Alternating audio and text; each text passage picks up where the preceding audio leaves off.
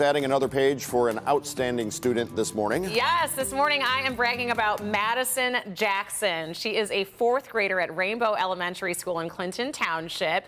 Madison is an exemplary student. Her most recent progress report, she received the highest score possible in all academic subjects. Her teachers say that she is brilliant, smart, creative, diligent, and empathetic. She is a leader at school as a member of the Girls Club after school program.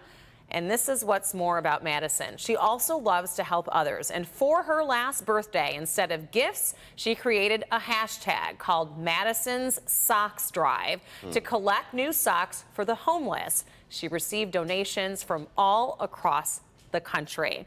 And on her ninth birthday, she donated 600 pairs of socks to the Detroit Rescue Mission Ministries. Good for her. Right? Pretty awesome. So remember, whether you are a teacher, a parent, a friend, make a nomination for someone special that you know for my brag book. And you never know, you may see them right here featured on Local 4, or I even show up in surprise brag book kids right there in their school. Pretty cool yeah. when the TV camera comes to the school.